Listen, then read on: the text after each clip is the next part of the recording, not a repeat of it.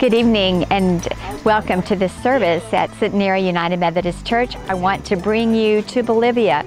We had talked to you earlier in the week when we were at the construction site. Welcome friends to the work site here in Cobija, Bolivia. We arrived safely after a little bit of a delay here, there, and yon, but we have been out here all day working and it's been really delightful. The weather is cooperating.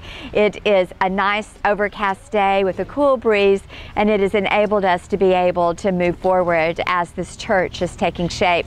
We wanted you to see a little bit about what is going on and all the people who are working. The church members along with our mission team have just joined in teams that that have made volcanoes from uh, cement bags and then also they have uh, they have dug big holes and transported sand into the, the church as we prepare the chancel area that sacred space where so many worship services will take place, where so many baptisms will, will be uh, celebrated, weddings, funerals, all of the things that make a sacred space out of a church. So, welcome again to Cobija, and we will be talking to you again soon. It's been sunny, and it's helped us to really work.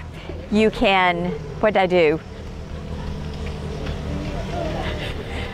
What happened? Well,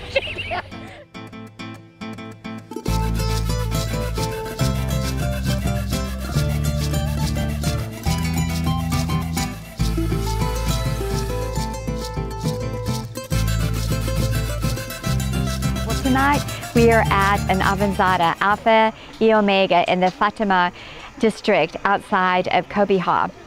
We shared a service together where we were able to recognize that we are near to the kingdom of God because we are one another with God. And so I invite you as you continue in worship today to think about that. We are thousands of miles away from you, but you are with us in spirit and in prayer, and we are with you. And one thing that we have recognized is that it doesn't matter if we can't speak the same language or, or live in the same area because of God. We are brothers and sisters. So God bless you and thank you for continuing this great ministry. ¡Viva!